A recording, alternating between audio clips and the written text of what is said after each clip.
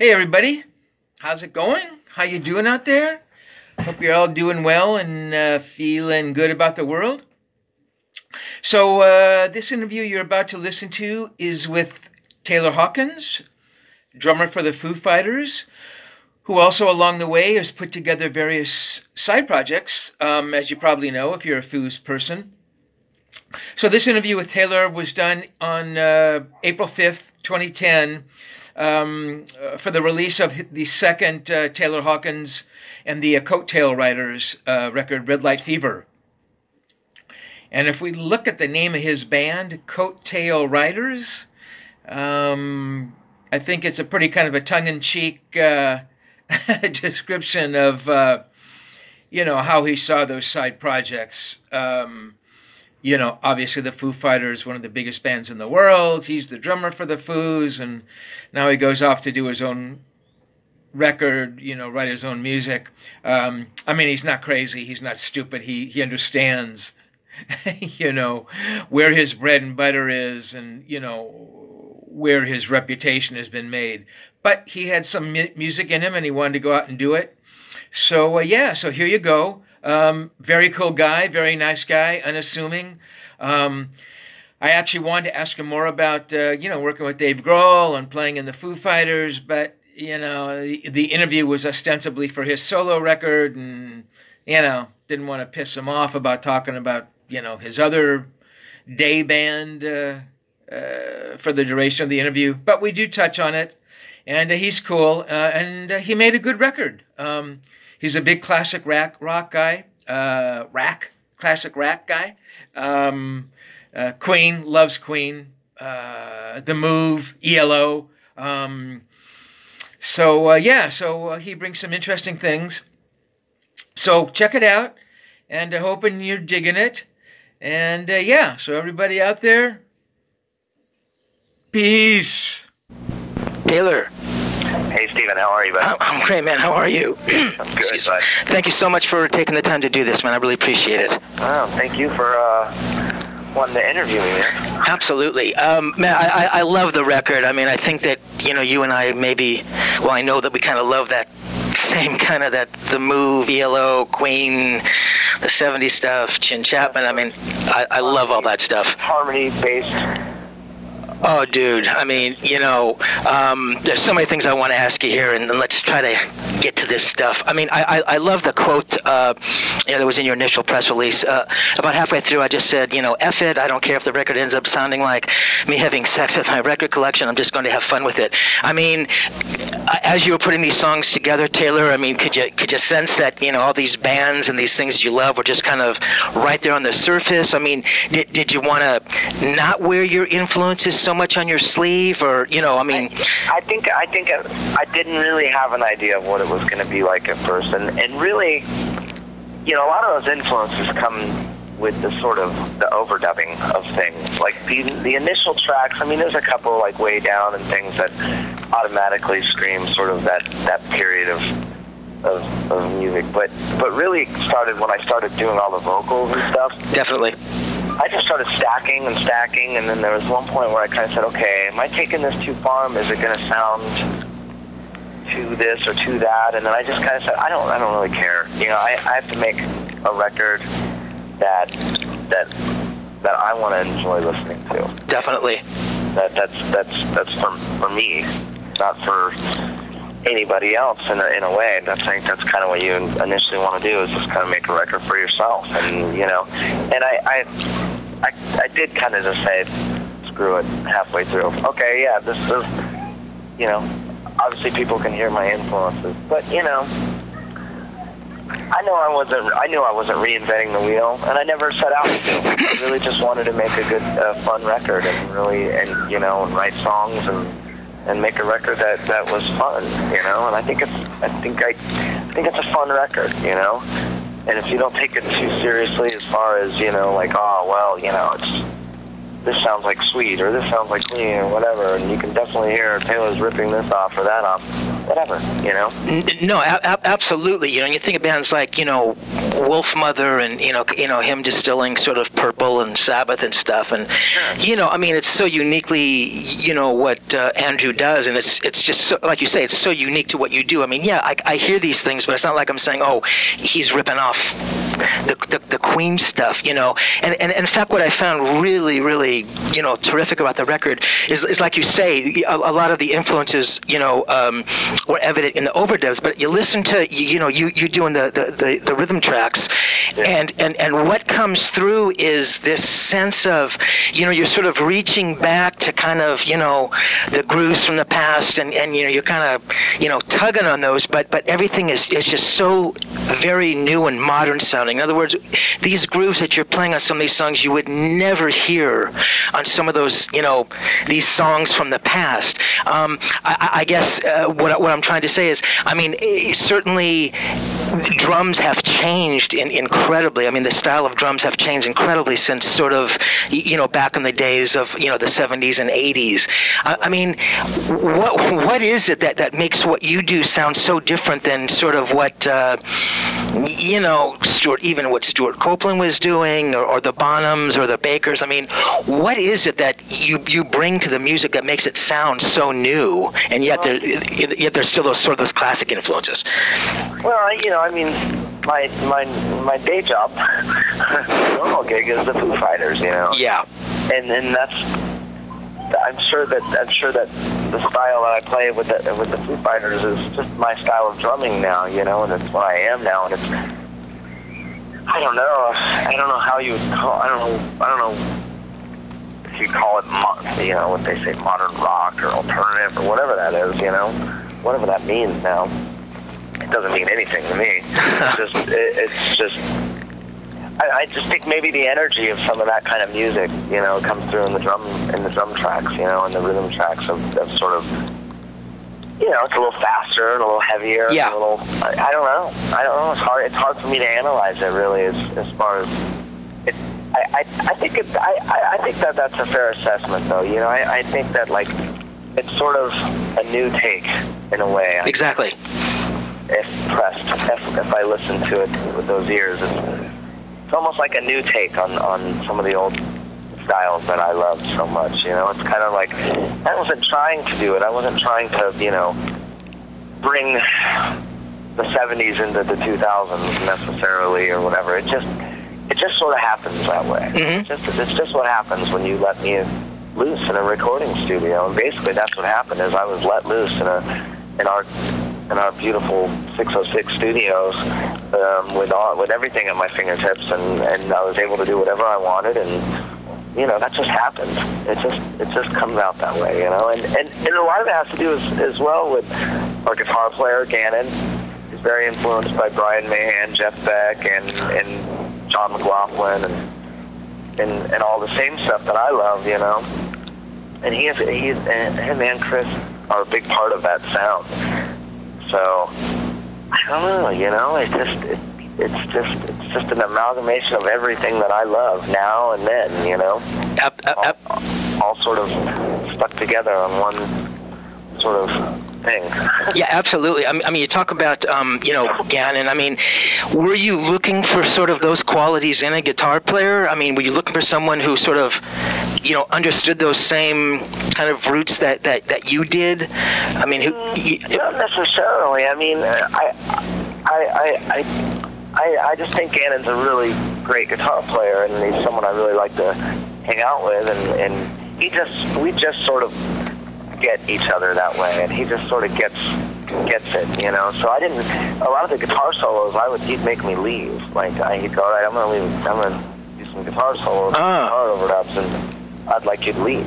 And I would say, okay, that's fine. I go, and I come back, and I come back, and I'd say, well, sounds kind of like Jeff Beck, sounds kind of like Brian May, but sounds like you, you know. So, and, and if you love it, then I love it, you know. And there was very few times where I said, no, I don't like that. I want to do something different. You know, I mean, there were a few times where I, where I said, I, I, I hear something actually in my head that I would like you to try to do. But for the most part, it was definitely um, him just doing what he wanted to do. And you know, we we're the same age, you know, and we grew up listening to the same stuff. Mm. You know, we really did. I mean, he the thing is, it's funny because I was having a conversation with him the other day at rehearsal, and you know, in the '90s when I when I was listening to Soundgarden and Nirvana and and um, a lot of the stuff that was going on, and he was just completely immersed in, in fusion. He missed the whole thing. So I'll talk to him about Jane's Addiction, Nothing Shocking, how it changed my life, and he'll say, "Well, I was." I was in, you know, Mahavishnu Orchestra, you know, world, you know, you know, I, I just wasn't paying attention. So, so I now I play him those records. I mean, he's heard them obviously. You know, he hasn't been living under a rock completely, but you know, I don't know. It's just everybody's own style. It's just it's, it's just on there. You know. Yeah, absolutely. Yeah, that's that's really interesting, man. Um, I mean, are you a different drummer in um, in in your band than you are in the Foo Fighters? I mean, are, are there kind of Yeah, I mean, in, in a sense, I, I, I- think I play. Well, the funny thing is, about three quarters of these tracks, drum tracks, were done with Dave. With Dave was with me. You know, he he was with me when I did the first couple of weeks of work on this record. So he was there when I laid the drum tracks for about three quarters of the record. And it's funny because you can actually hear. I play a little bit different on the tracks he wasn't there for. And then the tracks that he wasn't there for were It's Over, which is the one that starts out kind of really crazy, sort of yeah? lush, sort of Mahavishnu Orchestra kind of thing. And uh, he wasn't there for uh, Not Bad Luck. And uh, I think there's another one. And, and, and you hear it. You hear a little bit of a different thing that I do. And I think that I just get a little bit more I mean, you know, with Dave, when we're coming up with drums for the Foo Fighters, I think that he tends to think more in a songwritery, sort of hooky way. Mm. And when I play drums by myself, I think I just tend to just be a little bit more self-serving drummer-wise, you know what I mean? So, so I, yeah, I think that I play a little bit differently. There's no question, you know that a little bit more of my other influences kind of come out than as far as like when I'm actually playing with the Foo Fighters. When I play with the Foo Fighters, it's more of like me sort of interpreting what Dave wants to hear, and then you know, and he gives me he gives me moments to do whatever I want to do. You know, there's definitely stuff that I do on the Foo Fighters music that he probably wouldn't do. You mm-hmm. know, and he he just kind of puts it down as that's that's sort of my sort of way of doing things. You know, and and you know he basically gets what he wants out of me to serve the song, and then everything else is is my own thing. You know. That's really interesting. Uh, I would say that there is a difference, though. Abs- absolutely, I think I pl- play it a little bit differently when Dave's not around. Wow, that's that, that's very, that's very cool, man. I mean, um, Taylor, I'm just gonna. that's not a bad thing either. Oh no no no no no! I think that's an amazing thing, you know. To, It's a different, it's a different thing, you know. Oh, positively, positively. Uh, Taylor, I'm gonna, I'm gonna you know, just toss out a couple songs here. Maybe you can kind of tell me a little bit what's going on and um, song-wise and drum-wise and groove-wise. I mean, uh, you, you you you mentioned Is this a drummer magazine? Is it a drum magazine? uh, it's a, it's a it's a, actually for like a musician site, so so they're okay. gonna understand Right. Yeah, yeah, yeah, yeah. uh, all this stuff. Um, not bad luck. Um, you, you know, uh, you know, kind of this very cool lick. You know, um, uh, kind of starting it off. Um, I, I mean, can you just generally kind of talk about the song? I mean, I kind of hear kind of cheap trick stuff in there. I mean, a little bit. Not really, I guess. Uh, that song actually I kind of wrote with Elliot Easton. Oh, is that the song that Elliot's on? Yeah, Elliot's on that. The guitar solo is actually Elliot. Oh, and uh, and that's the one I that's the one we kind of wrote that together. I had the basic the basic idea of the verses and the choruses and and then uh, yeah, I suppose there's a little bit of cheap trick in there, not not not not consciously but subconsciously, you know. Uh, uh, it's got the crazy sort of intro yeah. and the bass line that Chris came up with, the, the, the opening bass line. Yeah, baby, I'm on the phone. I'm talking business right now, okay? Is that your daughter? No, my little boy. Oh, I'm sorry. Oh, okay. Uh, Yeah, interesting. so yeah, that, that one kind of we kind of worked on together and wrote that one together. Oh, cool. Um, so, uh, Taylor, I, I only had the downloads here, so I wasn't sure who was playing on these songs, which is why I didn't know that actually Elliot was on there. I mean, I know that you know Brian and, and Roger are on the record. I mean, what what song? Roger Roger sings background vocals on um, Your Shoes, which is the second song, Ah, right. and you can hear it. Yeah, yeah, yeah. The second you hear his voice, you know it's him. Uh, I I think. Oh, definitely, yeah. it was definitely not me.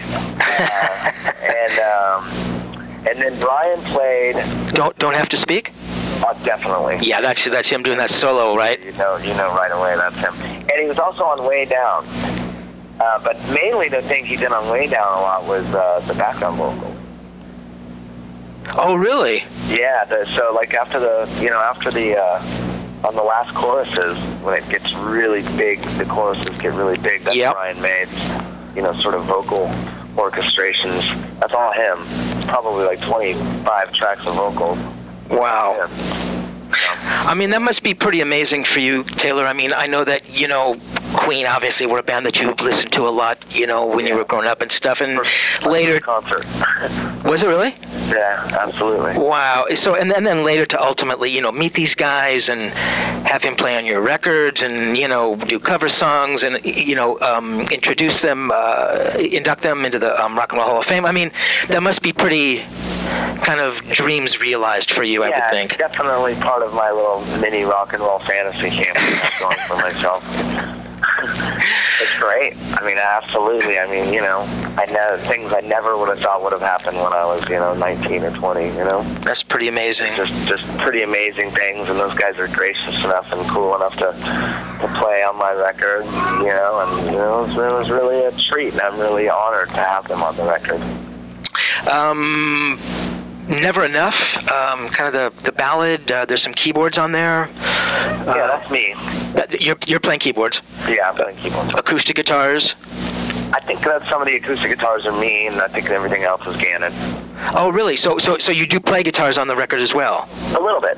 A little. Very, very little, but but there's, you know a couple things here and there is me playing guitar. But for the most part, it's Gannon and uh, Dave. Dave did a lot of the rhythm guitars. He actually didn't play on that one, but but he did a lot of the rhythm guitars. And uh, yeah, it's just me and Gannon, and and uh, but mainly Gannon, and and a lot of the rhythms are Dave. And uh, yeah, Oh, oh, oh, that's Dave's song. Oh, I'm sorry. Oh, cool. yeah. Oh, that's great. That's cool. I mean, um, do you like the idea of, of two guitar players in a band? I mean, is that kind of your Yeah, Even even though you listen to you know like Queen and Police and some of these bands have one guitar player, but I mean, do you like the idea of you know guys bringing in different styles and textures and kind of that marriage of those different kinds of things? You know, creating what you hear. Yeah, I think it just kind of works for this, for what I, for it just naturally kind of worked that way. You know, I mean, I would love it to be a trio sometimes because I love trios and I love, I love that, and I love the fact how you know Brian May's the only guitar player in Queen and Andy Summers. But it just for what I was doing, I felt like I needed more than one guitar, especially for live. hmm So, you know, I mean, there's tons of guitars on the record, so definitely need two guitars to really get all the sounds live, to really put it forth the way I want it. Gotcha. I mean, I mean, you talk about trios, mean, I know that Cream. I think were maybe somebody you, you listen to, and Absolutely. you guys, you sang. I, actually, I feel fine. I feel free. Sorry. I feel free. Yeah, I mean, that's pretty cool. yeah, yeah, absolutely. Yeah, and I love, I love Rush, and I love, and and you know, Queen were essentially a trio with a lead singer, you know, Yeah, definitely. playing piano. So, so was Zeppelin, you know, And the, and the Who. and the Who, and all those bands. You know, they're essentially trios with singers. That's true. That's true. I mean, Taylor, would it have been going too far to, you know, think about bringing in some of these producers that work with some of these bands? I mean, having Roy Thomas Baker to come in, or you know, the Chinn Chapman guys. Uh, I mean, would that Yeah, have? I would have been awesome. I, I you know, I, I that would have been the, the, you know, we did everything on a on a on a real. We treated we treat this band as as what this band is. So I, it's, I'm not gonna just, you know, yeah, baby, can I talk on the phone? I know, I know. Uh, I kind of treat this band as what it is. So everything's on a budget. You know, when we tour, it's in a van. We stay at Motel Sixes. So it wasn't really, you know, didn't have the kind of had the kind of dough to, to hire a Roy Thomas Baker or a, or a Chinn Chapman or someone like that. I don't even know if Chinn and Chapman still make records. Yeah, exactly. Um, but uh, but uh, no, I, I wouldn't mind doing something like that someday. I, I think it'd be really fun to do something with Roy Thomas Baker, or, or you know, or uh, you know, Jeff, the guy who did the ELO, Jeff, uh, Jeff Lynne. Jeff Lynne. Yeah, he sounds like somebody like that. Maybe you've. I mean, I think you've obviously listened to his stuff, and I think there's a little bit of him in, in, in your vocal approach and stuff. I mean, Sure, I, lo- I love ELO and I love the move. Great bands. Definitely, definitely. Um, I wanted to ask you uh, real quickly, Taylor, uh, about playing on Slash's record. Or, I'm sorry, you, you sang on Slash's record. Yeah. Um, uh, were you actually there in the studio with Ozzy doing those harmonies? No, You weren't no. there. And that, and that that was that was really just kind of like uh, the, the thing is is, is um, we we had rec- we'd done the Foo Fighters had done a little bit of recording with um, with uh, Valentine um, Eric? Eric Valentine Yeah. and when we'd done this recording this was a recording that never has been put out actually it was a cover of a of a, um, a zombies song this will be our year Oh, and it's, it's pretty cool, but it, it hasn't come out yet. I'm sure it'll come out in some way, shape, or form someday. But when we were in there doing it, I did some of the background vocals. I liked the way I did background vocals, and so I got a call from Eric when he was doing the Ozzy, or the uh, sorry Slash record, and he said, uh, "Do you want to come in and sing some background vocals?" And you know, I don't really get a lot of calls to do to do that kind of stuff. You know, I'm not really the guy that they could run to to to, to do anything outside of what I do with the Foo Fighters and my own thing. So I always kind of like, if I get a chance to go do something a little bit different, I usually like to do it. You know, and and I've met Slash a couple times. He's a real nice guy. he's a great guy. Yeah. Good, good, solid, just music loving kind of guy. You know, he's not a, he's not really as much of a rock star as it appears he is. No, not at all. He's actually really a, a generally music loving type person, and, I, and those are the people I like when it comes to, you know, rock musicians that I meet. You know, people who really seem to be doing it because they love to play music. You know? Absolutely, and it was you know funny because I mean you know Chris obviously plays drums on on Slash's record and stuff, and I play bass, yeah. oh jeez, I'm sorry, I'm sorry, he plays bass. I'm so sorry. No. Um, you know, and obviously, you know, uh, Chris is someone you've been with, you know, for a long time. I mean, what is it about, you know, you and Chris? I mean, what is that thing you create as, as, as a rhythm section that, that is maybe, you know, different than playing with like Nate or something? Well, Nate's for the Foo Fighters. You know that that's what we. I don't think that we would do anything really necessarily outside of it because we spend so much time doing stuff as as the Foo Fighters, and he's got his own style completely. I see. Um, uh, Chris is just absolutely one of the best bass players on the planet. He is really good. Yeah. He is absolutely the most just solidest, the, the best. I mean, he did all the bass on this album basically in one day. Wow. Really, essentially. I mean, except for a couple songs which we did later on, he did the front of the work for this album in one day. Literally an hour or two a song at, at most, and just and you can ask him to do anything, and he just does it at the drop of a hat, no Mhm. matter how difficult it seems or how tough. And there's some really, really great bass playing on this record. If you listen to the outro of Sunshine, and it's just all over the record. He just does some really exciting stuff. Absolutely. Steven, we're going to need to wrap it up. Okay. Okay. Um, Not that I, not, that's her. That's not me, Steven. I, I know. I know. Um, She's she's the boss. I hear you. Uh, just, just, just a, like a one and a half more questions here, real Yeah, quickly. sure. Um, um, you're, you're a Gretsch guy, Taylor.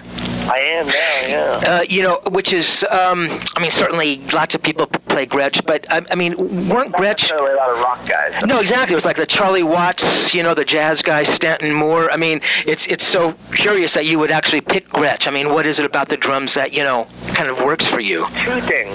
I I've, I've been using them in the studio almost always. So, you know, that was like a little like, well, obviously they're they're you know the best to a Yeah. certain degree. And then we did this we did this thing a long time ago, maybe like five years ago. We went out to Las Vegas to for this VH1 Rock Honors thing, and it's the one we did with Queen, Mm. Paul Rodgers and Queen and all that. And Dave had had a drum set rented for him because we were both playing drums with Raj on this song. Um, we will rock you, and we are the champions, I think it was.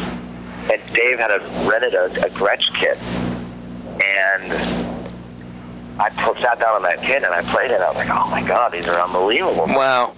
So I just said, you know, hey, I use them in the studio. I I uh, I uh, I just I like them, and I played Tama for about ten or five or six years, eight years at that point. I was ready to make a little bit of a change. I want to play all of them, you know. I played them all. I played Ludwig. I played Tama. I played DW. Played them all, and they're all good. Once they get to the high end stuff, they're all really good. Yeah, yeah. But um, I just wanted to play Gretsch, and Phil Collins played Gretsch. Oh, interesting. There you go. Yeah, cool. La- last question, Taylor. I mean, I know that you're touring with um, Coattail Riders. You're actually going to be at the Troubadour here uh, in a couple weeks, which I, I'd love to come by and see that. I mean, I mean, how does that feel? I, I mean, like you say, yeah, the Foo Fighters is kind of your your day job, but I mean, y- more than my day job. I mean, it's mother, it's the mothership, you know. of, of, of course, I know you were being, uh, yeah, you know, you know. quaint about that. But I mean, it, it must feel again, it must feel great though that you know to be in a position where you can go out and tour on your own, and you know, I mean, let's be honest. I mean, there's more focus on you in in, in this band, and you know, there's more pressure, and I mean, do you like all of that? dude, I'm playing drums and singing the whole time. It's unbelievably Oh. pressure. Do I like it? Yeah, I like it because I like to challenge myself, you know. I, and it's a challenge. And it's a whole different kind of challenge, and and I, I think that you know to grow as a musician, you need to challenge yourself, and and you know just going into the studio every time with the Foo Fighters is a challenge Mm. because just trying to get the songs the way Dave wants to hear them and everything. It's a challenge, but this is a different kind of challenge, and and I really enjoy it too. I really, really do. I mean, a, a lot of it, it's it's not. I don't think it's going to make me a bigger star or anything like that. I don't think I'm going to make a million dollars doing this. I think that it's just something I we. Me, Gannon, and Chris, and Nate, our, our other guitar player, Yeah. who played on this record, Yeah. who's touring with us. Nate Wood, Yep. is actually a ridiculous drummer. And People don't necessarily know that, but he's Tony Williams or something. Wow. Just a ridiculous musician, period. But um, it's something that we all do out of friendship and the love of the music and just the love of the hang, the music hang. Because it's just a hang, you know? Yeah. It really is. Those guys have guitars in their hands all day long when we're on the road. We tr- we learn a different cover almost every night, and it's it's just it's just some of my favorite people in the world to play with. I'm lucky because I have the Foo Fighters, which are my other favorite people in the world to play with. Dave's, you know, like my brother, really, you know. He really is more of a brother than a friend almost. Um, but you know, I like having this too, and it really just lets me go out and just kind of do my own thing, you know, and, and and get everything out of my system that I don't necessarily get out of my system with the Foo Fighters, you know. That's great. Just kind of keeps me at peace, musically speaking. So same way that it does for Dave when he goes out and does all the other things he does. Yeah. Yeah. That way we don't feel trapped inside one thing, but we know that we have that one thing. That it's more like a family than a band, and it really is. That's, the Foo Fighters is more like a family. You know, That's great, man. you know. So, but it's just something that we get to, that I get to do and really enjoy, and it's passion, and it's a passion for me, you know. And uh, I love it, man. I love it. I really hope you come by the Troubadour. Yeah, absolutely. Yeah, positively. I would love to see that. Um, I, I really appreciate your time. Taylor. Bye. And uh, you know, it's a great record. You're an amazing singer, and uh, you know, you're an okay drummer. And no, I'm kidding, man. It's it's uh, you know, it's like Phil Collins time, and you know, just you, know, you can kind of one hand the number of singer drummers, and um, it's great, man. It's a great record. and I- you obviously love it, and I think it's going to make other people love it as well. And um, go take care of your little boy there, and uh, you have yourself a good day. Uh, you too, man. Thanks so much, Taylor. Thank you so much, buddy. Bye. Bye.